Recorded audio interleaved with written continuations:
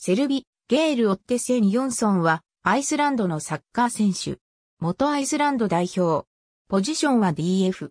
FC ウラル時代レイキャビークに生まれ、ビキングルレイキャビークの下部組織からトップチームに昇格し選手となった。2004年にアルスベンスカンのユールゴーデン IF に移籍、4年の在籍であったが35試合2得点に止まった。2008年にデンマークスーペルリーガのスナユスケに3年契約で加入。2009年6月18日にはセルティック FC のトライアルに参加する見込みであることが報じられた。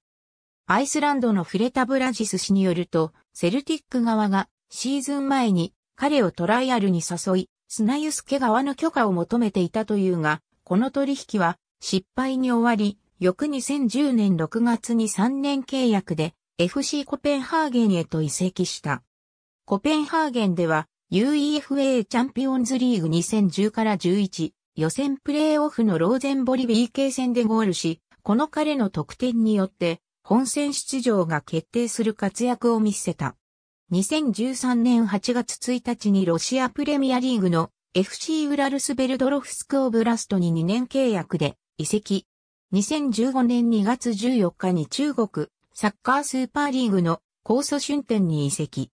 2016年2月4日に中国サッカー高級リーグの武漢拓南寺に移籍。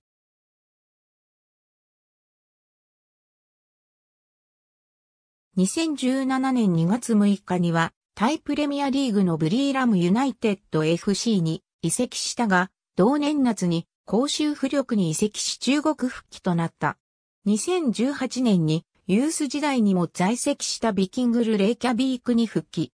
2014年、アイスランド代表としてオーストリア代表戦でプレーするオッテ戦2005年10月7日に行われたポーランド代表戦でアイスランド代表初出場。ありがとうございます。